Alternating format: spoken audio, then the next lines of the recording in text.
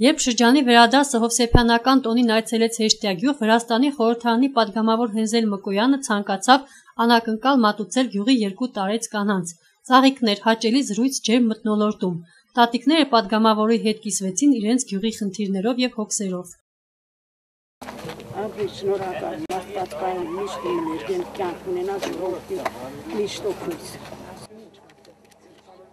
Կարապից ընտանիքով, երեքասներով, Դեցնած ընտանիքով, որնի օրնեց, որ արեշտաս քան դարնա առաջտի կանանք կան։ Աբրիկ, աբրիկ, հաջողություն ձեզ, տեսություն, տեսություն, հաջողություն։